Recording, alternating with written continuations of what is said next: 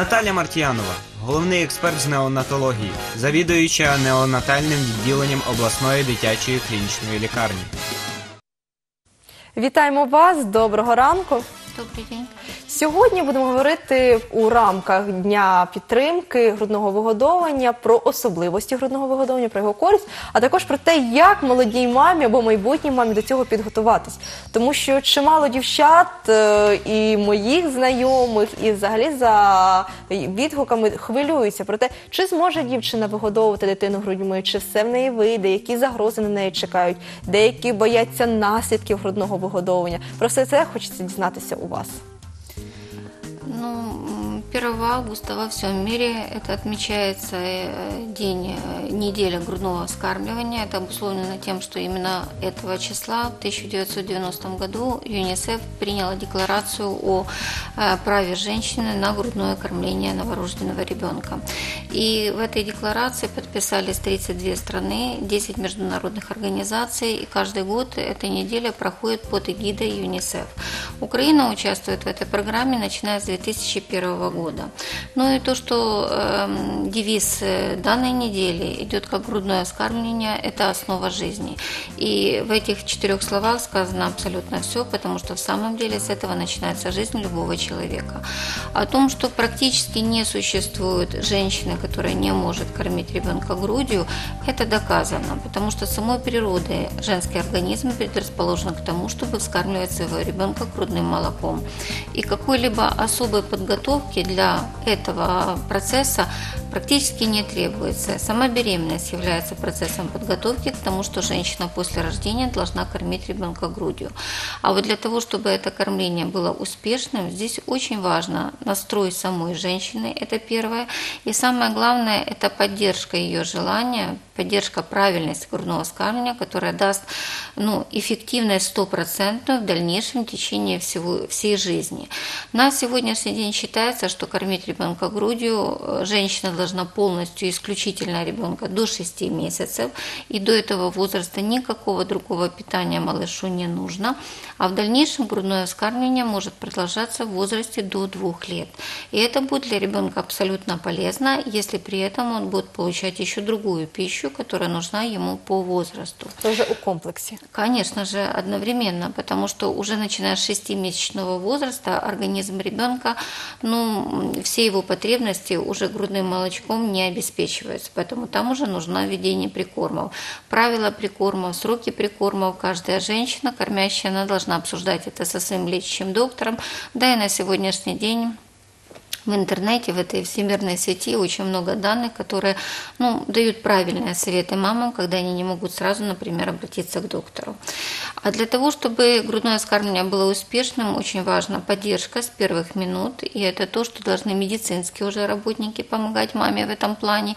И самое главное, это, конечно же, родильный дом, там, где мама только родила, где первые минуты, и запуск именно грудного кормления, это является раннее прикладывание ребенка, когда мама его должна покормить, может его покормить, должна покормить непосредственно еще в родильном зале. В первый час после рода. Вот это то самое главное, это те главные миллилитры грудного молока, которые, получая ребенок, дает ему запуск всех его физиологических процессов и дает ему мощную поддержку его иммунной системы и всего остального. Я чула, що навіть під час кесарового росту ну все рівно дитину прикладають до маминих грудей для того, щоб не втратити цього контакту і Да. першого прикорму. На сегодняшний день кесарево сечение в большей части случаев делается под регионарной анестезией, то есть женщина при этом находится э, в полном сознании, да, э, сама операция она обезболена, нет неприятных ощущений, поэтому сразу по излечению ребенка женщине она ребеночек выкладывается ей на грудь, и там же в родильном зале в операционной производится первое прикладывание груди, и это абсолютно нормально. То, что говорить о грудном вскармливании, о его полезности, по-моему, очень много везде сказано, потому что оно полезно как для ребенка, так и для мамы. Потому что женщины, которые кормят ребенка грудью, у них на 30% меньше вероятность вообще рака груди и развития в дальнейшем. У них э, намного меньше вероятность развития сахарного диабета, онкозаболеваний, других сфер. Поэтому эм, это поддерживает их эндокринный баланс. Это очень-очень полезно. Тем более э, на сегодняшний день женщины наши, украинские, в том числе, думают о своей будущей красоте, о том, как они будут восстанавливаться после родов.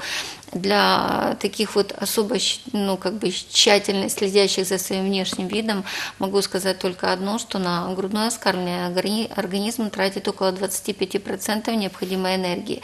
Поэтому если своеобразный женщина хочет, конечно же, если женщина хочет быстро восстановиться после родов и сохранить ту свою фигуру, которую она имела до того, то как раз грудное скармливание для этого и является очень сильным и мощным помощником. Ну а для качества жизни для ребенка это вообще неоценимо, потому что дети, которые получают грудное молоко, они по IQ своему намного выше, чем дети-искусственники.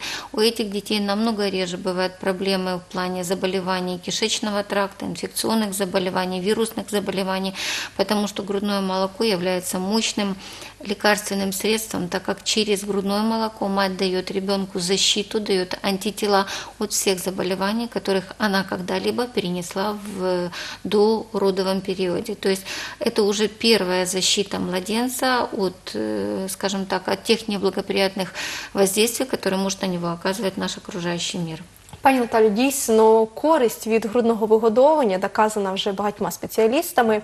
І як ви вже сказали, майже не існує жінок, які не можуть вигодовувати грудьми. Але чому ж виникають такі проблеми, як е, коли не вистачає молока, коли молоко перегоряє, як це кажуть у народі? Е, Які негативні фактори впливають на грудне вигодовування на жінку? Як їх уникнути, можливо, щоб ви порадили? Або можливо якісь супутні хвороби чи супутні якісь властивості здоров'я жінки також на це можуть повпливати?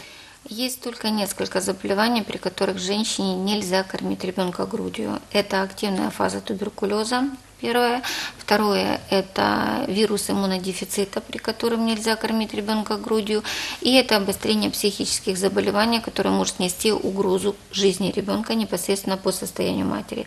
Во всех остальных случаях, даже если мать болеет вирусной инфекцией и так далее, э, грудное вскармливание не является противопоказанием, потому что параллельно женщина, еще раз э, напомню об этом, вместе с грудным молоком передает, передает ребенку антитела от данного заболевания, Тобто, так тем як молода самым мама его вважає, що защищая. вона захворіла і вона відлучає дитину від грудей, Нет, це помилка. это неправильно, и в каждом случае нужно советоваться с доктором, который даст матери в этой э, ситуации правильный шаг, как поступить. Э, Почему иногда бывает ситуация, что молока не хватает? Во-первых, есть э, просто физиологические моменты в росте ребенка, когда рост малыша преобладает над э, уровнем выработки грудного молока, так называемые лактационные кризы. Это обычные, это физиологические состояния, которые чаще всего бывают на втором месяце жизни, которые бывают на четвертом месяце жизни, на седьмом. И это то, что женщина должна понимать, что просто она не успевает по выработке молока за ростом ребенка. И в данной ситуации ей должны помочь просто ее семья, окружающие, потому что восстановление лактации – это несколько достаточно элементарных моментов, которые она должна соблюдать в течение ну, трех-четырех дней, и все налаживается. Первое, она должна быть абсолютно, ну, психологически должна быть в комфортной зоне, и это очень важно, и об этом, об этом должна подумать семья, муж, те люди, которые рядышком с этой женщиной, это первое. Во-вторых, она должна быть уверена, что она и дальше будет кормить ребенка грудью, то есть должна быть ее психологическая уверенность в том, что она все это преодолеет. Ей нужно как можно больше отдых, потому что это дает возможность восстановить свои силы. Затем нужно восстановить тот режим кормления частый, насколько она реально для нее, это каждые два, каждые два часа, то, что было изначально при рождении. То есть, когда уменьшается количество молока, главная задача – это участить прикладывание ребенка к груди, потому что сам момент сосания – это является одной из самых ну, как бы эффективных э, процессов э, ускорения выработки грудного молока, потому что организм – это очень умное, очень у- мудрое существо, которое понимает, если ребенок сосет грудь, ему это необходимо, а значит необходимо усилить выработку молока. И если женщина будет соблюдать эти правила, то есть спокойная психологическая обстановка, э, больше отдыхать, причем отдыхать вместе с ребенком, чаще его прикладывать к груди, немного увеличить объем жидкости, который она потребляет, то в течение 3-5 дней это все нормализуется, и объем молока восстановится в том объеме, который необходим непосредственно для ребенка. То, что хочется еще дать совет мамам по поводу м, жидкостной нагрузки, которую она потребляет, то да, для кормящей мамы она должна э, пить немножко больше, чем в обычной жизни, но при этом она должна пить столько, чтобы не испытывать жажды. То есть заставлять себя выпивать воду, когда в этом нет необходимости, она не чувствует в этом ну, э, потребности для себя, ни в коем случае не нужно. У Она цьому должна- також організм дає свій дзвіночок. Конечно, конечно, потому что могут быть и периферические отеки, может быть лишняя нагрузка водная на организм. то есть, да, кормящая мама должна употреблять достаточное количество жидкости, но этот объем должен быть таким, чтобы она просто не испытывала жажды.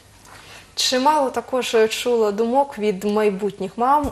Я боюсь е, грудного вигодовування, тому що може виникнути затвердіння грудей, може виникнути жар. Чимало моїх знайомих, це так кажуть дівчата, після цього ще й операції на грудях. Чому виникають такі проблеми, і чи можна від цього застерегти себе е, годуючій мамі? Прежде всего, защита от этих всех неблагоприятных проявлений – это именно кормление грудью, потому что ребенок является самым лучшим, пусть это немножко грубовато звучит, но самым лучшим молокоотсосом, который существует вообще в этом мире, потому что он отсасывает именно столько, сколько нужно, а в зависимости от того, сколько съедает ребенок, организм матери уже регулирует объем выработки молока. Это первое. Во-вторых, конечно, в данной ситуации для того, чтобы не возникало таких вот угрожающих состояний, это важно обучение мамы.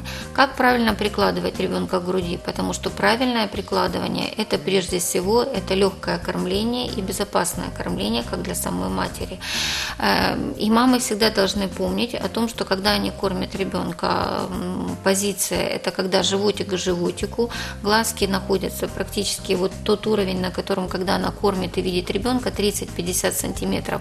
У маленьких деток существует сама по себе физиологическая близорукость. Именно на таком расстоянии во время кормления они четко видят маму, и тогда устанавливается вот, вот тот психологическое взаимодействие и близость между- между матерью и ребенком. И когда ребенок берет грудь, главное, чтобы он захватывал не только сосок, но сосок, к счастью, ореолы, потому что именно там сохраняется цистерна, где скапливается молочко в груди. И нижняя губка должна быть вывернута наружу. Если соблюдаются вот эти все условия, ребенок качественно сосет, эффективно сосет грудь, и тогда остатки молока, затвердения, которые в связи с этим образуются, будут намного в меньшем количестве. Ну, э, кроме вот этих правил, конечно же, должны быть еще люди, которые на этапе родильного стационара просто расскажут и покажут маме, как правильно сцедить грудь, когда молока слишком много, для того, чтобы не было застоя в груди, потому что когда появляются вот эти вот покраснения, гиперемия, тяжесть в груди, подъем температуры, это прежде всего застой. И вот этот застой, его, конечно, нужно убрать. Ось до кого сразу... звертатись молодій мамі? Чи можливо існують якісь курси при ось ви сказали пологових стаціонарах, де шукати спеціаліста, який може е, достатньо розповісти на власному прикладі, на прикладі цієї мами, як їй варто правильно годувати дитину, і чого варто притримуватись, яку можливо дієту дотримуватись? Ну, в этом плане существуют школы раннего м, батькиства, по, не могу сейчас сказать, как по-русски.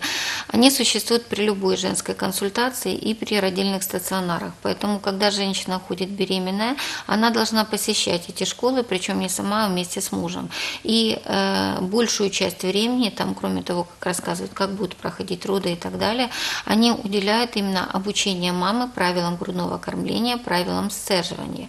И, конечно же, именно при этих школах, плюс и в родильных стационарах работают те профессионалы, которые прежде всего всего могут помочь маме. Одно дело рассказать теоретически, как правильно сцедить грудь, а другое дело, когда женщина рожает попадает в ситуацию, когда все это надо применить на практике. И, естественно, не всегда это может получиться. Поэтому прежде всего в данной ситуации ей должны помочь медицинские работники, а это как женская консультация, родильное отделение, родильный дом, где она рожала, за те 3-4 дня, сколько она находится там, она э, ей покажут, расскажут, помогут. Не Ну, а варто когда она- просити допомоги. Абсолютно. В этом плане никогда не нужно стесняться говорить о том, что вы чего-то не умеете или не знаете. Обратитесь к тому человеку, который является профессионалом, и вам помогут, и ваша жизнь э, получится совершенно по-другому и намного легче.